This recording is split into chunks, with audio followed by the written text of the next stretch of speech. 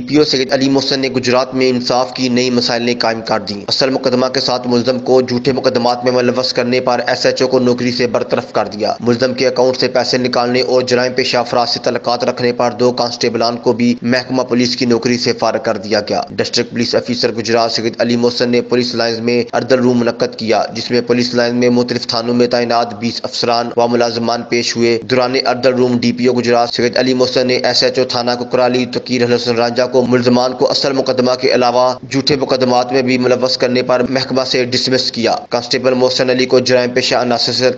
رکھنے کی بنا پر محکمہ سے برہاست کر دیا گیا کانسٹیبل اقرار حیدر کو ملزم کے اکاؤنٹ سے پیسے نکالنے پر محکمہ سے برہاست کیا گیا ایسا ہی فاد عمان کو منشیات فروشوں کو بر وقت گرفتار نہ کرنے پر دو سال سروس ضبطی کی سزا دی گئی جبکہ کانسٹیبل سلیم افضل کو ڈیوٹی سے غیر حاضر ہونے پر ایک ماہ کی تنہا کے برابر جرمانہ کیا گیا ڈی پی او گجرات سید علی محسن کا اس موقع پر کہنا تھا کہ محکمہ سے کالی بیڑو کا صفایا ان کی اولین ترجیح ہے ایسے پولیس اہلکار جو محکمانہ فرائض درست طور پر سر انجام نہ دے وہ اپنا قبلہ درست کر لیں ایسے عناصر کو نہ صرف محکمہ سے فارغ کیا جائے گا بلکہ ان کے خلاف مقدمات بھی درج کیے جائیں گے